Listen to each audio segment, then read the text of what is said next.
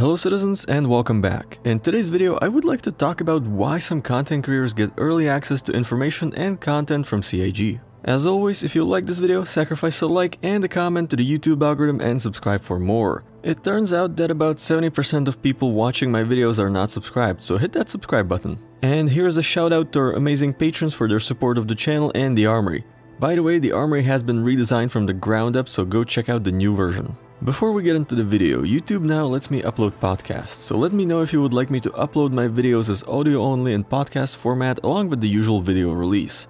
Now back to the topic at hand. In the recent days, there was major drama surrounding CIG giving some streamers and content creators access to the Scorpius Antares before it was on sale or available to Evocati. On top of that, apparently the same group of content creators had early access to information surrounding 318 going live. And before you ask, I didn't get either of those, I guess CIG don't like me that much. Now, this is not the first time a similar situation has happened, it seems to occur with every new ship being released. One of the most notable was the release of the MSR where content creators got access before people who actually bought the ship. CIG seemed to have learned from this and made the Antares accessible before the sale, which kinda makes sense and I see it as an improvement. But a lot of backers see this as a bad idea and a so-called streamer privilege. So what motivates CIG to do this? Let's start with the ships. Streamers and content creators account for pretty much all of advertising for Star Citizen, and many of them bring new backers to the project, so having these content creators show off cool new ships is the fastest, cheapest and most effective way to do this. Plus, let's be honest, I think CIG also like the drama because it creates more attention and generates more clicks and views, and yes, I realize the irony. Ultimately, I think CIG's intentions are not bad, they're just giving content creators the tools to create trending content which creates more awareness of the project and thus generates income. Okay, but what about giving content creators information ahead of the official Spectrum post?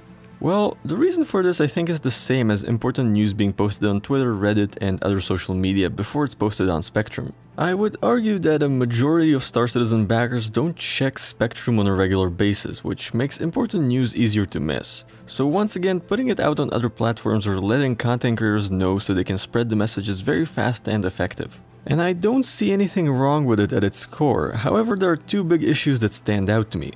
First, CIG lets streamers know significantly ahead of the official post. This does show some degree of favoritism, but as far as I know this never happened before, so I'm willing to believe that there was a timing issue which caused the Spectrum post to be late. But I've said this about other things before and I was wrong, so I'll be watching CIG very closely in the future to see if it repeats. Also, maybe if you hit the subscribe button, CIG will deem me worthy of this early access too. The second issue is more global and way more important. As I mentioned earlier, a big part of the backers avoid Spectrum like the plague. Most of us only come there to look at patch notes and other information. I think CIG needs to start thinking about why this happened and how they can bring the backers back so they have a solid, well-used social media platform that's internal to the game. Now, in recent months, CIG seem to have stepped up moderation efforts on Spectrum to try and keep it reasonable and on topic, but I'm not sure if that's the way. And with that being said, that's it for tonight. What do you think? Is it fair that content creators get early access? What can CIG do to improve Spectrum? Let me know in the comments, thank you for watching, fly safe, and I will see you in the verse.